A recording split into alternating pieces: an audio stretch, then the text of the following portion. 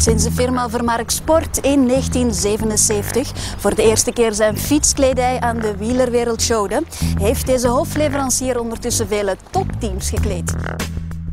Van de Pro Tour teams Quickstep, Silence Lotto en Milram tot de continentale wielerteams Landbouwkrediet, Topsport Vlaanderen en BKCP Powerplus. Met de opening van het nieuwe gebouw in 2008 waren dan ook heel wat bekende wielrenners afgezakt naar Rotselaar, de thuishaven van Vermark Sport. Maar niet alleen de wielerwereld, ook de Belgische Atletiek Federatie geniet van deze kwalitatieve topkledij. Het succesverhaal begon allemaal na de wielercarrière van oprichter Frans Verbeek. Frans, ik zit hier naast een, eh, een grote wielrenner. Een groot en oud wielrenner. Want zo is het voor jou wel begonnen. Hè? Zo is het met mij begonnen, ja. Ja. En hoe lang heb je dan precies gefietst? Ik heb uh, gereden tot mijn 37. En toen weer het tijd dat ik ging stoppen. En je hebt dan meteen gekozen voor uh, iets anders? Ja, ik... Mijn vader had een fietswinkel. En die zegt, pak de fietswinkel over. Maar dat ging niet, want ik kon aan geen fiets werken. En daarmee zijn ik onmiddellijk in kleding begonnen. En uh, onder vermarktsport. Ja, dus het werd kleding, maar het is natuurlijk heel kleinschalig begonnen. Hè? Heel kleinschalig in de garage. Met, uh, in twee kartonnen doos hadden we wat kleding die me aankochten en verder verkochten ik en mijn vrouw en bedrukte. Je moet natuurlijk op een bepaald moment op zoek gaan naar nieuwe technologieën. Wel ja, ik kwam in Italië en uh, ik zag de eerste keer daar uh, op papier drukken en dan weer het overgezet op de stof. Ik zeg, dat is het wat we moeten doen. En zo'n productieproces, hoe verloopt het dan uh, precies? Dat is heel uitgebreid, maar het begint bij de klant. Na overleg met de klant wordt het gevraagde ontwerp met de verschillende kleuren en sponsorlogo's aangemaakt op de grafische dienst. Na goedkeuring van het ontwerp kan het productieproces van start gaan.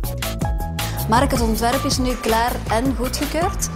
Wat is nu de volgende stap? Ja. Nu hebben we twee mogelijkheden. Ofwel gaan we dus met dat ontwerp digitaal gaan printen, of we gaan daarmee naar de zeefdruk toe. Digitaal printen is voor kleine aantallen, wordt vooral gebruikt voor uh, kampioenentruien, zoals de wereldkampioen in Zeltberg, Belgisch kampioen Sven Nys. Of ook voor de voetbal, omdat daar telkens een andere nummer op ieder shirt komt. Voor grote oplagen, zoals de retro-trui van Quickstep, kiezen we voor zeefdruk. Dit is een zeer ingewikkeld procedé en dat start met het printen van de film. Afhankelijk van het aantal kleuren in de trui zijn één of meerdere clichés nodig. Na een controlecheck op eventuele fouten gaat de film naar de montagekamer, waar de verschillende kleuren in panden worden samengebracht en gecontroleerd. De klaargemaakte films worden vervolgens afzonderlijk belicht met een krachtige UV-lamp. Een speciale pasta op een onderliggende zeef verhardt door de UV-belichting op de plaats waar de film het licht doorlaat. Na een grondige verwijdering van de onverharde pasta is de zeef klaar voor de uiteindelijke druk op papier. Om de juiste kleurschakering te bekomen worden de sublimatie-inten zorgvuldig afgewogen en gemengd. Het overbrengen van de inten op papier kan nu beginnen. Alle bedrukkingen verschijnen in spiegelbeeld op het transferpapier. Later zal bij het overzetten op de stof alles weer leesbaar zijn. Het aantal kleuren in de trui zal bepalen hoe vaak het transferpapier door de zeefdruk moet gaan. Alles is nu gedrukt op uh, papier. Hoe gaat het nu verder? Die papieren worden nu in, ingepakt voor transport naar Italië, waar gelijktijdig ook uh, het snijden van de stoffen aanbod. Dus jullie kiezen echt voor Italiaanse kwaliteit? Ja, wij kiezen voor Italiaanse kwaliteit, inderdaad.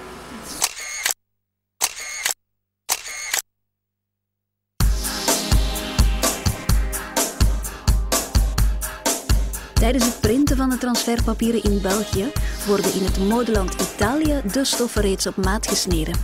De speciaal ontwikkelde stoffen zijn opgebouwd met een unieke structuur, zijn ademend, licht draagbaar, zweetabsorberend, waterdicht en bovendien zeer elastisch.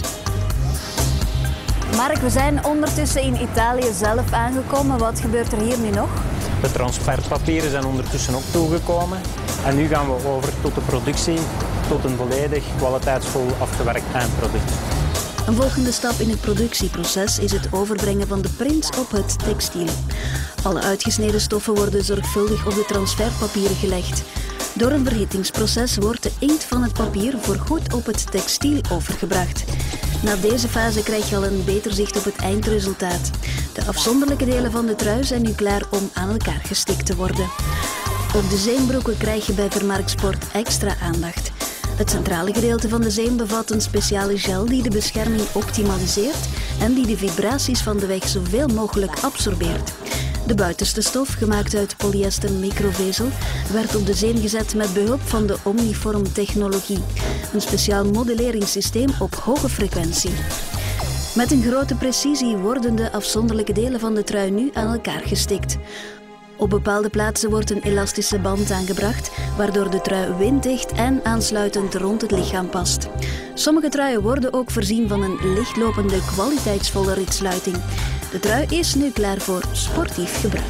Voilà, dit is nu het eindproduct, waarmee we helemaal de productie opgevolgd hebben van het begin tot het einde. Het is een heel uitgebreid karwei. Heb jij enig idee hoeveel van die truien jij nu al gemaakt hebt? Zo? Oh, hoeveel truien niet, want er zijn veel verschillende artikels ook. Maar op jaarbasis kleden wij toch zo'n 1500-tal wielerverenigingen aan. En die worden allemaal gekleed in dezelfde kwaliteit zoals onze profteams uh, Quickstep en Silence Lotto. En deze is klaar om ingefietst en gezweet te worden? Die is klaar. Dankjewel.